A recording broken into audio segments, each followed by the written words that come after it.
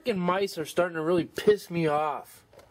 Um, I've set this trap so many times and they just keep stealing the bait off of it and it doesn't even go off. Like this one, for instance, I impaled a carrot on it so they can't just walk away with the carrot and they ate most of it off. There's still a little on the bottom, but the trap never went off.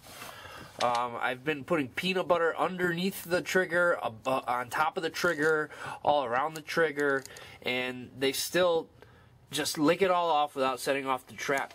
I also had a second trap, and it's gone. It disappeared. Um, it's nowhere to be found in here. I've looked everywhere for it, and like they took it home to their nest or something to like master it and like learn its ways, so they can like eat all the food off this trap without setting it off. Um, seriously, I had two traps in here and it's gone. The trap is completely gone. I don't understand it. I don't know if it like caught a mouse like by the tail or something and the mouse ran off with it. Um, I don't know. It's it's messed up. It's not in here. So I got these today. Um, it's just a different type of trap. Guaranteed to kill. So we'll see. I'm gonna set these up. Um, YouTube user uh, Keith Buds actually suggested putting um, since they're not setting the trap off, mixing uh, some poison with the uh, peanut butter.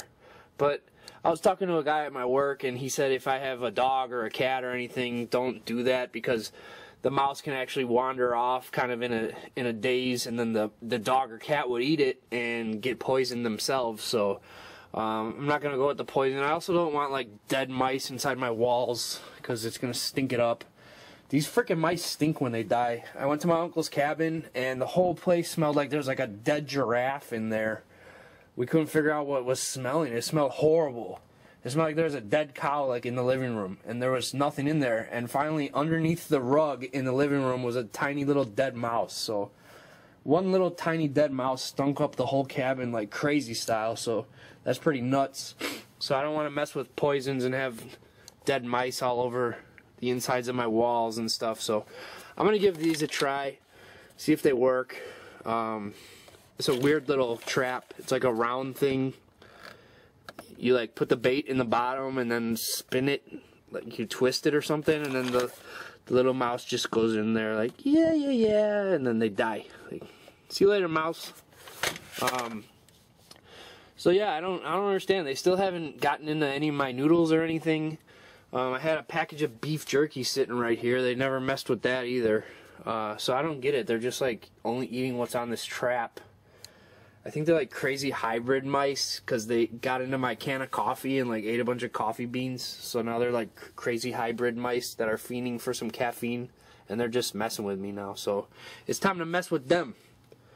So yeah, that's my update. Uh, if anybody has any other uh, good ideas about killing mice, let me know. Uh, I'm allergic to cats, like severely allergic. Uh, one guy at my work suggested getting some feral cats, but uh, that's no good for me in my situation because I'll die in my sleep if I have a cat. So, um, yeah, I mean, I'm strictly using traps here, and they are not working whatsoever. It's been like a week, and I haven't caught a mouse. And they just do this to me every day. Every day. I'll get you suckers. I'll freaking get you. You'll see. You want to play games? Okay. Survival for the poor, guys. Defend your preps. Freaking mice.